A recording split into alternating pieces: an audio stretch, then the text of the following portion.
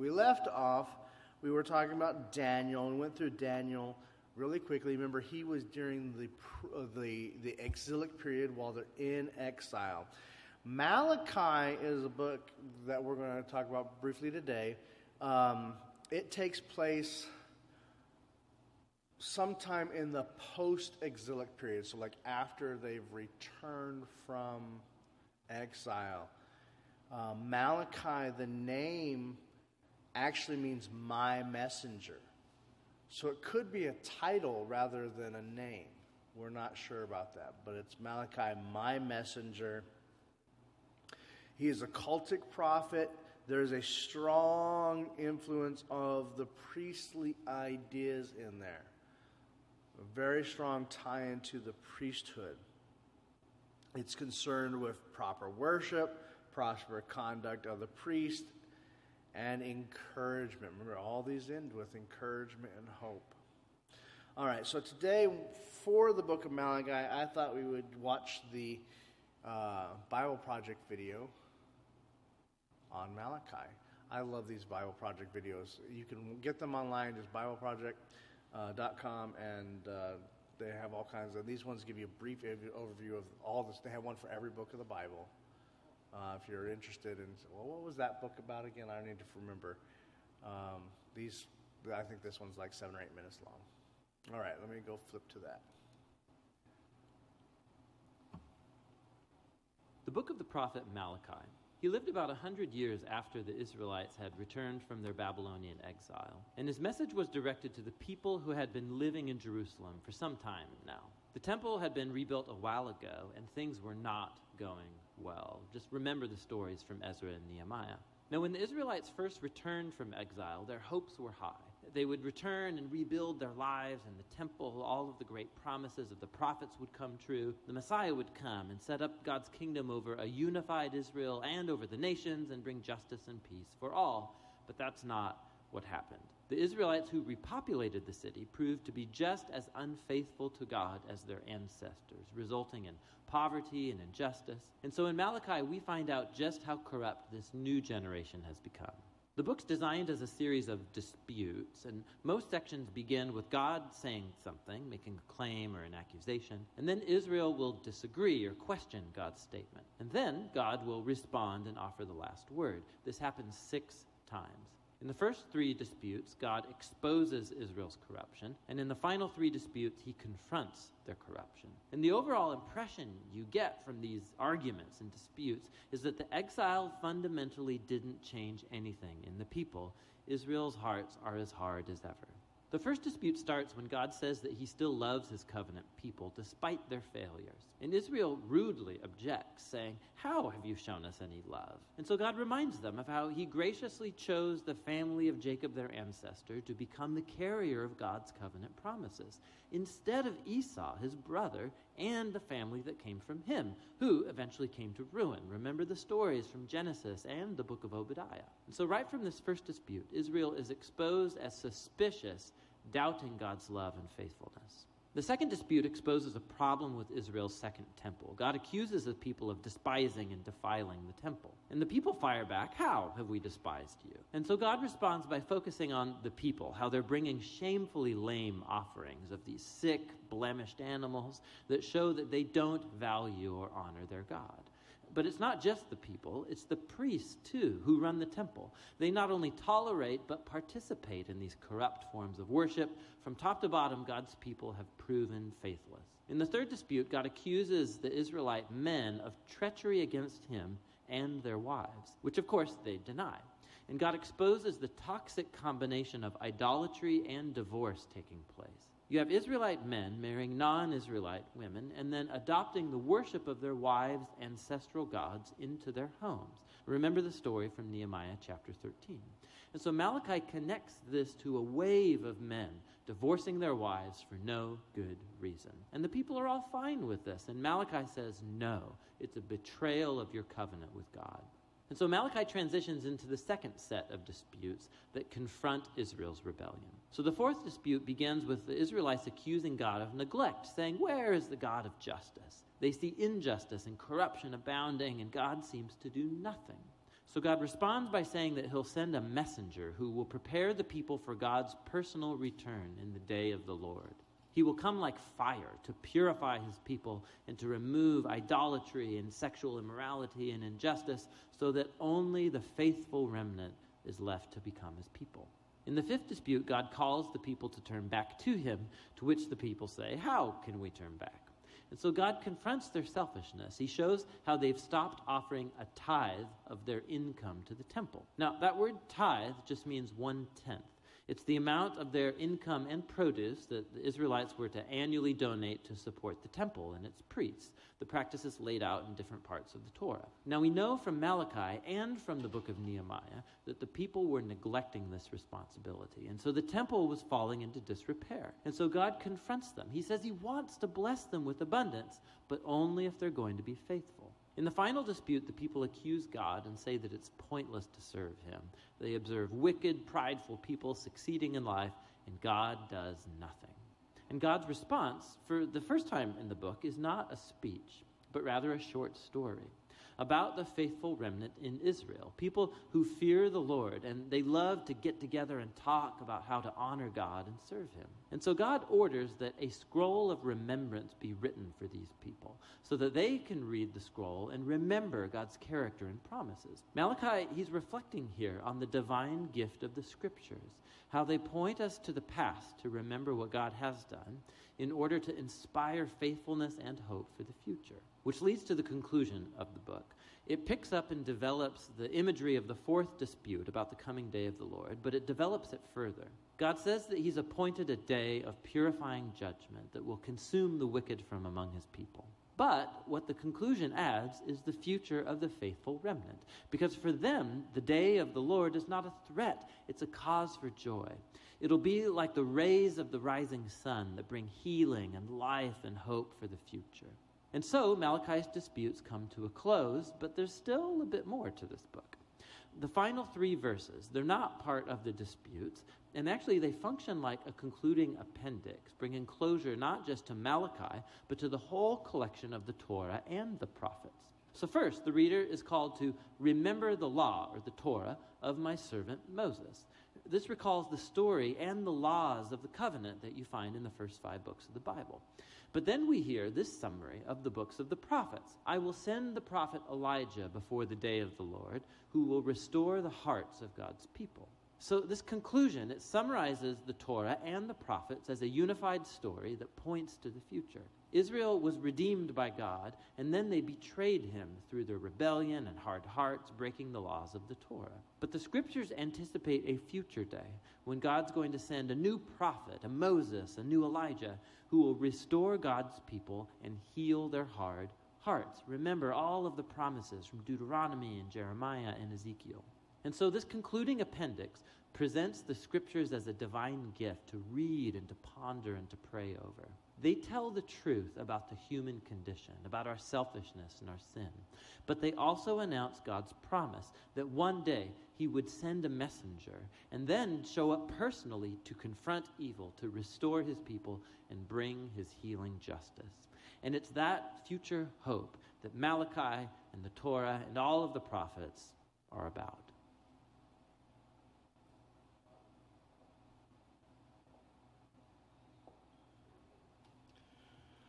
Don't you just love the artwork of those videos? They are so aesthetically appeasing. I love watching them. And every video they do, they spend so much time deciding exactly how they want to artwork it so that it's accurate to the scriptures, so the artwork is not a mistake. It's beautiful. Um, yeah, great, great uh, travel through the book of Malachi and my messenger, where God points to a future that we know is Jesus Christ. All the Bible leads up to a future hope that is Jesus Christ. And uh, that's what Malachi is about. It's all about the messenger of God bringing a time of encouragement. Um, the next book and I'm going to say the, the video for Joel is actually pretty good too, but I thought two in a row might be a little bit much. Um, Joel. Joel is another book that uh, is actually really short, um, we could probably look at some of it. Um, it's really only three chapters long. Um, we're not exactly clear as to when it was written.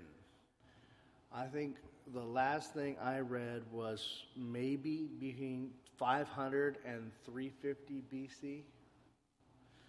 So, sometime in the post exilic period. Um,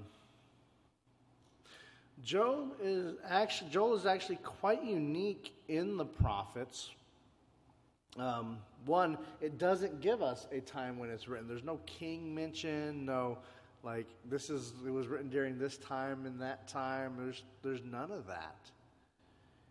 Um, it just says the word Lord came to Joel, son of Pethuel.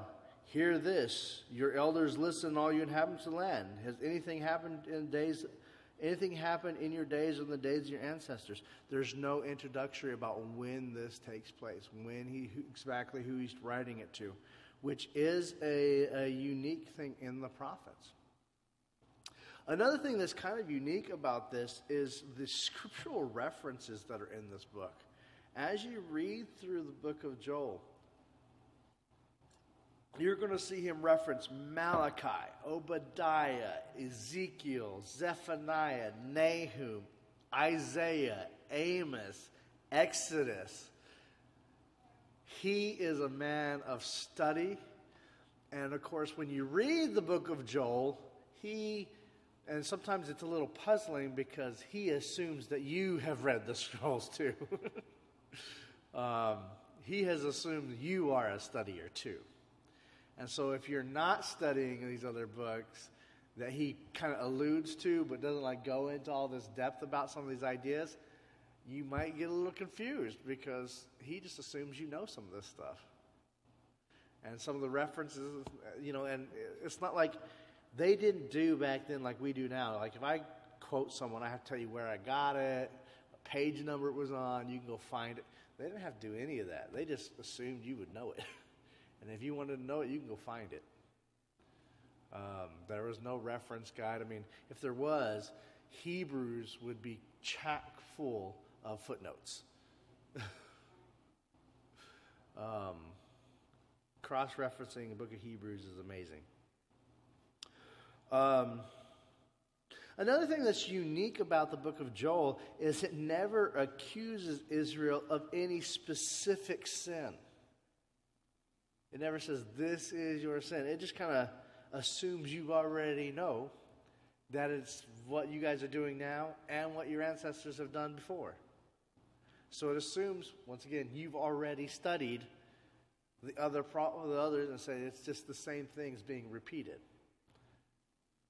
So he never calls out like a specific sin and says, "This is, you know, this is what I'm telling you." "How's has anything like this ever happened in your days and the days of ancestors? Tell your children about it. Let your children tell their children the children the next generation what devouring locusts have left, the swarming locusts have eaten.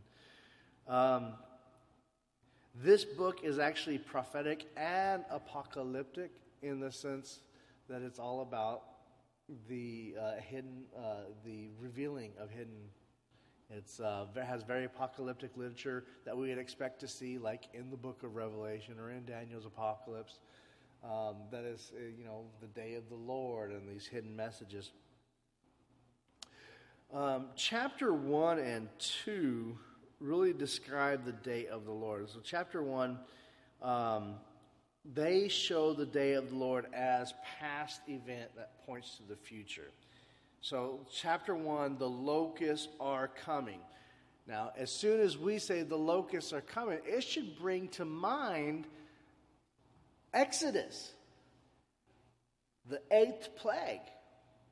And he assumes that it's bringing that to mind. But what's different about the eighth plague here is in Exodus, the, it was directed to the Egyptians. It says, now because of your sins, your apostasy, it will be directed towards you, the Israelites. And the, lo- the locusts will be coming. Chapter 2 plays on the idea of the locust again. The great day of the Lord is coming, and this locust will come. It starts out kind of more of a locust is coming again, and the, the darkness of the sun, um, but it takes on a, um, a military sp- speech. As you see, it becomes more military. The locusts kind of seem to be morphing or just described differently as the army of the Lord and they have all this army speech going on, this military speech, and um, and, and and that's one of the reasons. That's one. Of, that's this is where we get you know the darkening of the sun and the moon turning to blood as a sign of the approach. You never heard that you know gone outside and seen the blood red moon and wonder if there's a rapture. You know, it comes from this book right here where people are talking about the blood red moon as a sign of the approach. Um, in chapter 2, chapter uh, Joel 2 13b, actually, um, he kind of answers the question why should we change our ways? Um, and he actually quotes from Exodus 34 6.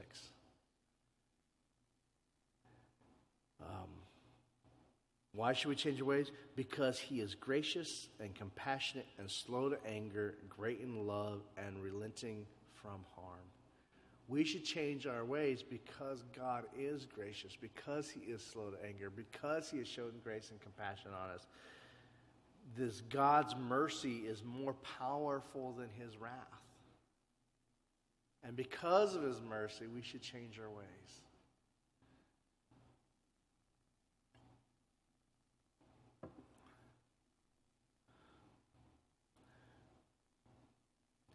Chapter 3 is um, chapter 1 and 2 were like a past event that affects the future. Like chapter 3 is more focused on the future day of the lord. Like these were past days of the lord you know like focused on like the locusts of egypt affecting the future. And this is more like a future time when when god will judge his people like a farmer harvesting grain, the nations will be cut down. And all the nations will be, um, will be affected, and this, this day of judgment will be a time of justice. But it'll also bring out, if you read the, the, the end of Joel, it brings out really a time of new Eden Um, then you will know that I am the Lord your God who dwells in Zion, my holy mountain. Jerusalem will be holy, and foreigners will never overrun it. In the day, the mountain will drip like sweet wine, the hills flowing with milk, going back to that land of milk and honey that was promised before. All the streams of Judah will flow with water and spring from issues from the house going back to the ideas of the Garden of Eden, where the, the, the rivers flowed from the Garden of Eden. And um, so it'll be a, a place of um, where, where, where Jerusalem will once again be a new Eden, and um, in the end, all will be made new. All will be made new in the end and I will pardon their blood guilt, which I have not pardoned, for the Lord dwells in Zion. So it's a really a, a fun book that um, that does focus on um, on even though the Lord's going to come, and you we you guys have done so bad, and the day of the Lord has come, will come again because you guys are. There is this future hope that it will be made new again, and God will restore justice to the earth, which culminates in Jesus.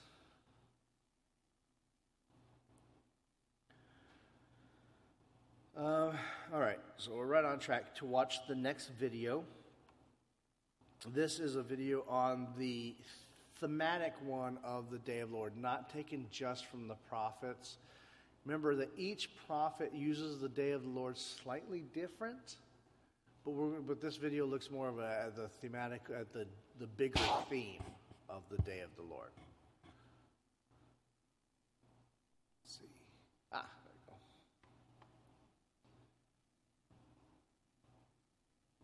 Maybe. It was playing earlier.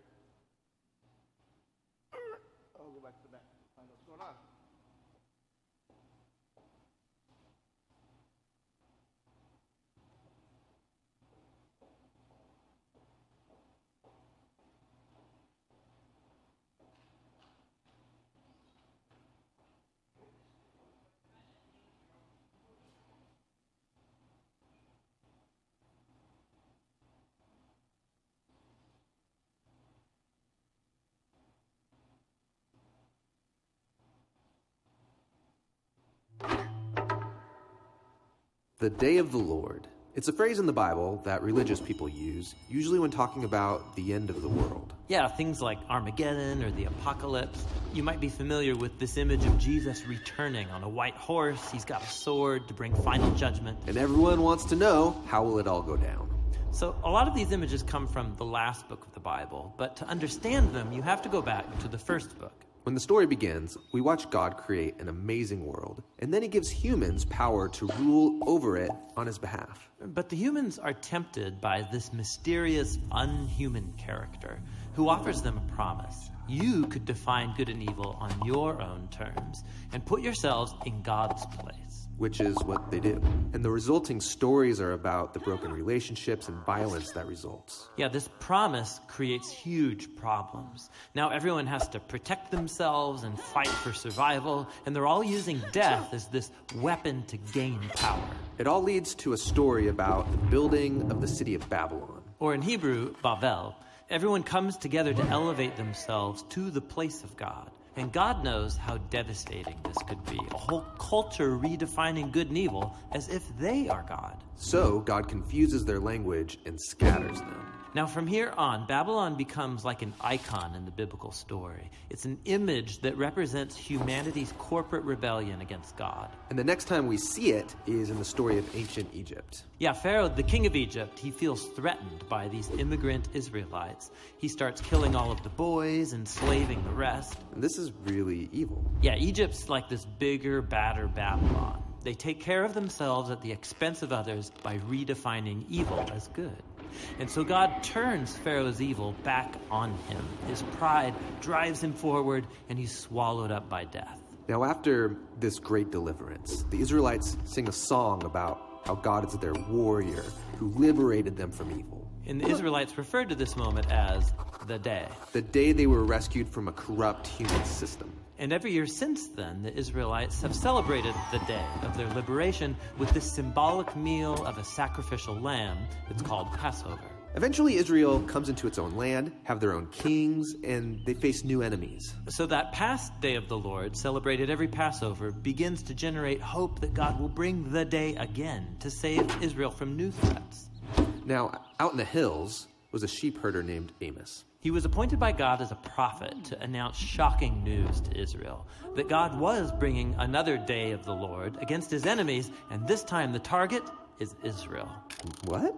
Sadly, Israel's leaders had also redefined good and evil for themselves, resulting in corruption and violence. So God's people have become like Babylon, the oppressed become oppressors. Babylon seems like a trap no one can escape. And so the day of the Lord comes upon Israel. They're conquered, taken captive into exile, and from then on, Israel suffered under the rule of continuous oppressive empires. This is the story Jesus was born into. Yeah, in his day, the oppressive empire over Israel is Rome. So, is Jesus going to confront Rome, take him out? Well, no.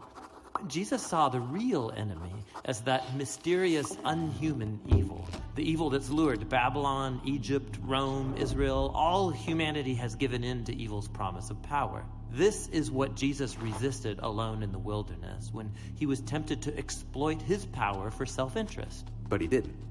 And after that, he started to confront the effects of evil on others. Yeah, he started saying that he was going to Jerusalem for Passover for a final showdown to confront the evil of Israel and Rome by dying. Dying? I mean, that feels like losing. Jesus was going to let evil exhaust all of its power on him, using its only real weapon, death. Jesus knew that God's love and life were even more powerful, that he could overcome evil by becoming the Passover lamb, giving his life in an act of love.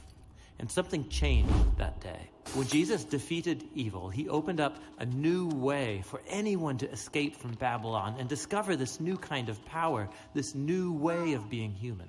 Okay, so something changed. But the power of evil is still alive and well, and we keep building new versions of Babylon. Right.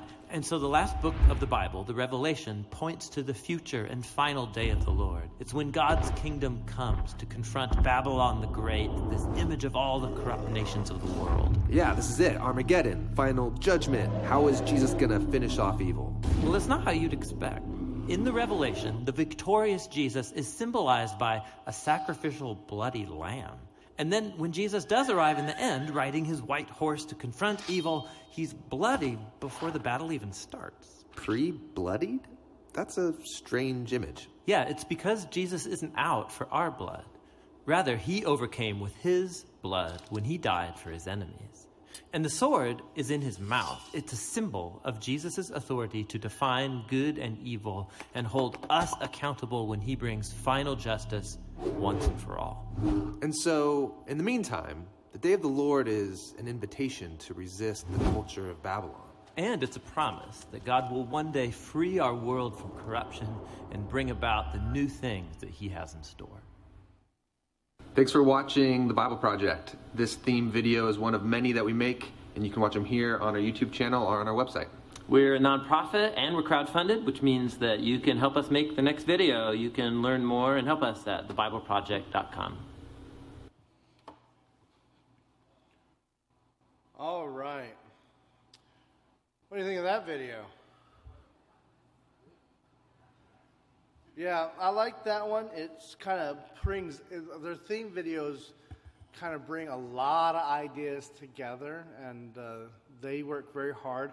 Uh, if you go and listen to their podcast, like the Day of the Lord, uh, I think has seven podcasts to go along with it for that little video, uh, where they talk through all the different elements of it, and then they whittle it down to one short video for everyone to see. Um, and so obviously there's things that are left out, and there's um, you know ideas that you don't get to of, but this, they do a really good job. And of course, the artist work is always amazing, and um, and whatnot. So wonderful experience, and I like that video right there because it's, it's we've been talking a lot about the Day of Lord, but it's not we it's not something we've really had time to address as a whole especially since we've been focusing on the Old Testament and uh, the day of the Lord doesn't end with the Old Testament, it goes into the New Testament and throughout the whole scriptures. So, all right, any questions about that or anything we want to say? No? All right, well, let's talk briefly about Esther.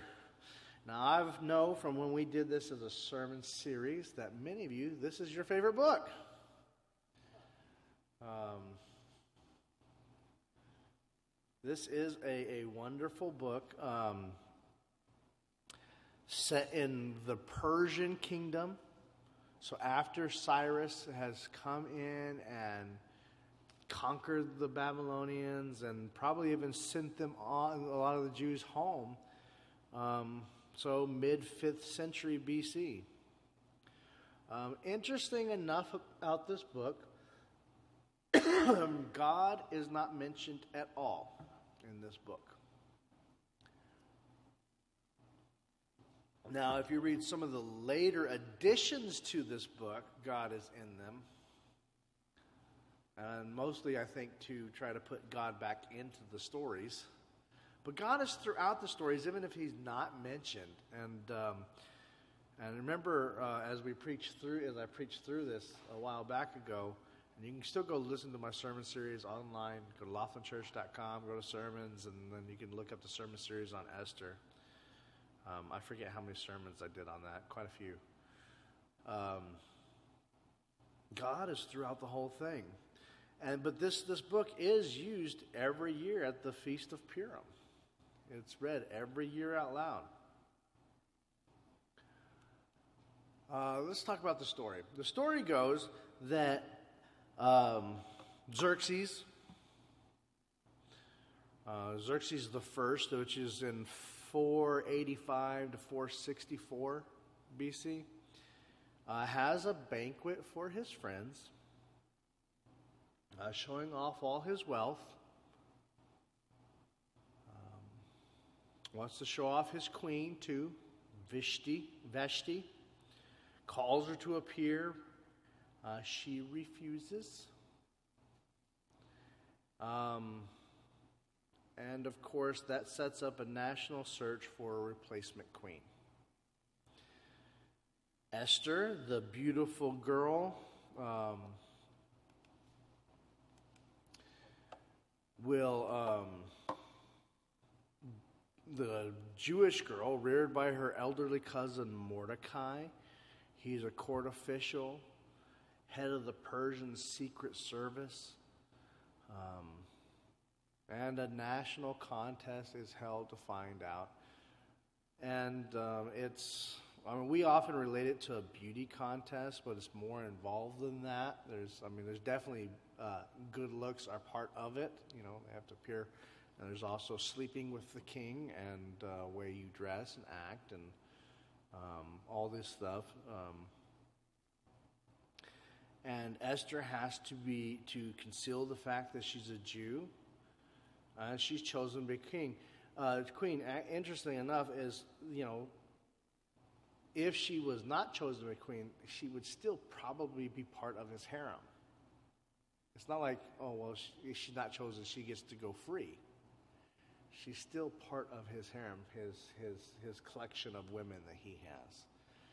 So this way, she gets to be like the head of the collection of women, not just part of it. Um, a lot of people are like, well, she just shouldn't have refused. And it's not. I, I've heard that too many times. Well, she could have refused. No, she couldn't. He was the king. Called her to come before him. Part of the beauty pageant, if you want to call it a beauty pageant, involved staying overnight with the king. And uh, he would have been, she would have been part of the harem. And, uh, and if he threw her out, she would be considered you worthless in that, that Persian society. Um, but she is chosen to be queen. Um, but she has to hide the fact that she's a Jew. Mordecai, in the, while she's queen, uh, learns of a plot against the king, and through Esther, he is able to warn the king about this plot and that sets him up to be honored later on. Now, Haman, um, which, if you remember during the Feast of Purim, anytime Haman's name, and they used the clackers and the yelling and the screaming and to blot his name out so you wouldn't be able to hear it from heaven because, you know, God, you can't even let God hear his name. He's so evil. Um, Haman, the Agagites, um, the prime minister, you might say, um, is mad at Mordecai. A lot of it because Mordecai refuses to bow to him. And um, Haman decides to get rid of Mordecai. And since Mordecai is a Jew, uh, Haman decides to get rid of all Jews. Might as well, right? If you're going to do it, do it right. Um, Haman will cast lots on when the date will be set to get rid of the Jews, and that's why Purim is called Purim. It means to cast lots. And so, uh, using um, persuasion and a large bribe, Haman uh, convinced that on a certain convinced the king that on a certain day the Jews should be killed. Um, and the king, not realizing still that Esther was a Jew. Now, Mordecai goes into mourning,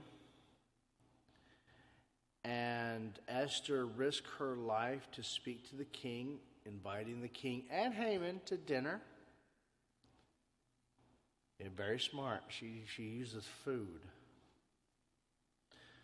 And Haman honor, was honored at the invite, went um, and since he's celebrating, he decided to have gallows made in his garden so that he can watch the hanging of um, and killing of the Jews uh, in his garden. Um, nice guy. Um,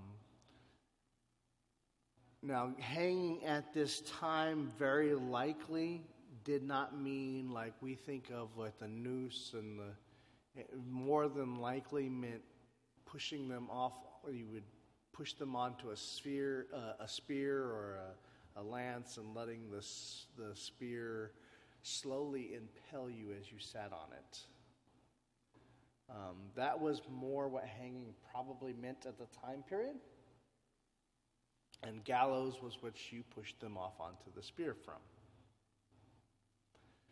Um, so it probably was not done in the humane manner with the rope and the calculations of body weight and length of rope to make sure it broke your neck instead of decapitating you. Because if you, even with a rope, if you have it too long, it decapitates you. If it's too short, you sit and struggle and and and and, and die slowly.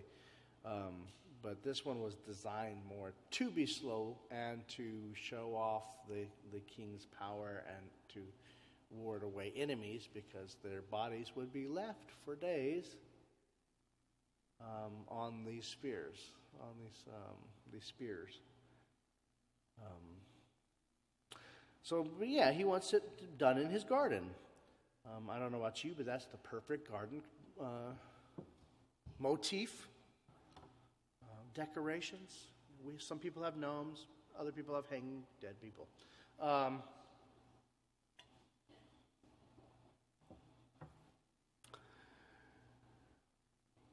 Now, the king during this time has a sleepless night, and he reads, has the chronicles of his courts read to him, which will put anyone to sleep. And uh, they happen to read about how Mordecai has saved his life. And he gets to think, he says, Well, we never honored Mordecai for saving my life. Next day, he asks Haman, How would he honor a person that's of great, and Haman, of course, being selfish, thinks it's him. And he says, Clad the person in kingly robes and put him on the king's horse and lead him by the streets of the capital. And, and of course, um, the king says, That sounds great. Do that to Mordecai. And of course, Haman wants to kill Mordecai as it is. This just solidifies we need to kill this man who's stealing all my thunder. Um, Haman does seem like he wants to become the next king. Now, the king, um, the day of the dinner comes, and, and, and she cooks for them, and they're sitting in the function. They don't sit on tables with chairs, and I know um, Da Vinci painted them with chairs. That's not how they would have sat. They would have been on cushions, uh, reclining. And um, and uh, King asks what she wants him to do, and she eventually reveals that she's a Jew and pleads for her life. And she tells him that Haman is the cause of all her troubles. Well, the king leaves in anger, and Haman throws himself at the feet of the queen as she's reclining. And the king walks in and sees Haman pleading and thinks he's trying to rape her. Now, it's bad enough that it sees that he's trying to rape his queen, but by raping his queen, it had been like claiming that he is the king. This is like a huge offense. Um, more because given the time period, more because he's trying to claim his right as king than raping a woman. Uh, though that was illegal, but not for the court, apparently, because uh, that happened all the time. You know. But um, he sees her and thinks he's trying to rape her, and Haman is hung on the gallows that he has made for Mordecai. Um, so, because the king is seen as godlike or even as a god, he cannot, however, change his decree that has already gone out that on this day the Jews would be destroyed. But what he can do is send out a decree that the Jews are now allowed to defend themselves. So, which would in fact stop most people from attacking them. You know, we're not going to attack someone that's going to defend themselves. We're going to let it be. Um, but the Jews actually take a, uh, this opportunity to rid themselves of enemies throughout the country. And um, Mordecai will become the essential, the prime minister, to Haman's job. Um, Purim itself is a secular holiday. It's not considered a religious, as we would consider religious holiday. It's a holiday that, uh, a Jewish holiday celebrating the overcoming of an anti Semitic plot.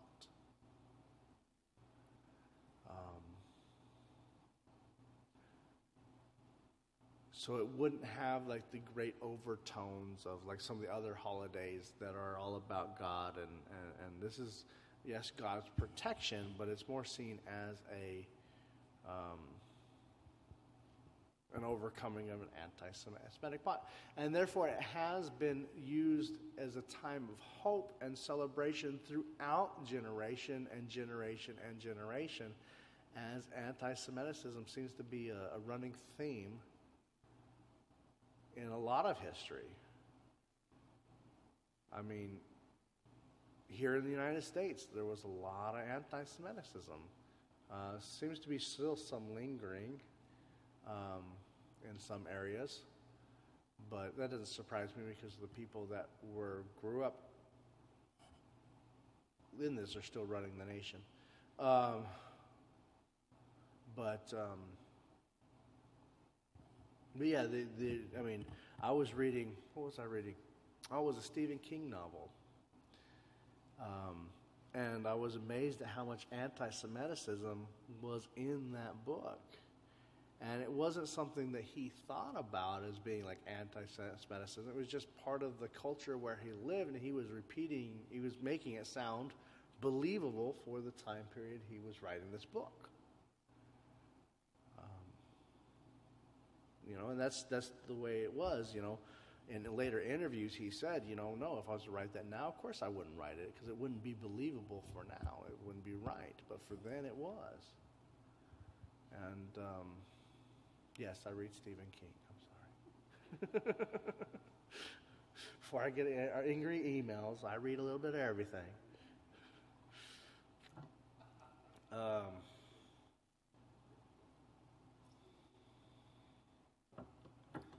though he's not my favorite author. Um, but yeah, uh, anti-Semitism is, is a, a, running theme, and uh, and even in a lot of our theology that I've read in um, that influenced the church for many years. I was reading a a commentary um, that was written in the 40s, I guess it was, and it was using deconstructionism um, from German um, scholars that were trying to basically pull Jesus out of its Jewish roots um, because of anti-Semitism, and uh, and it influenced a great. And this was a very popular book for seminaries up until recently.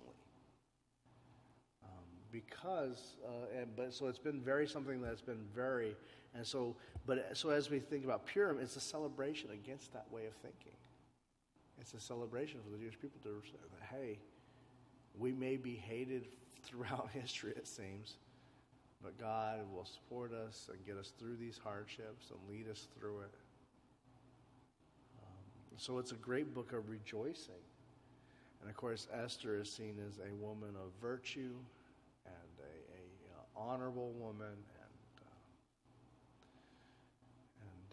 and, and a woman of wisdom. As we saw in that sermon series I did, I went to the Proverbs a lot when I went through the book of, of this, uh, the book of Esther, because she's seen as a woman of wisdom. Um, all right. Any questions about that? Anything we want to say? All right, so next week we're going to start in on wisdom and poetic literature. I don't know how long we're going to stay in that. Um, I do know that we're going to be done with the Old Testament by Christmas, maybe a couple weeks before. I don't know what we'll do between there, but I don't want to start to the New Testament till after Christmas because so we might have a couple of weeks to kill, but I'm going to get us through the Old Testament by Easter, by Christmas.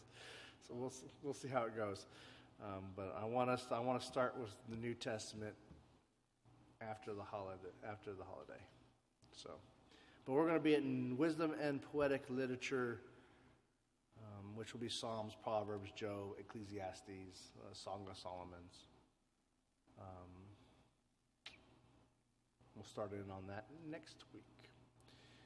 Any questions, statements, comments, concerns?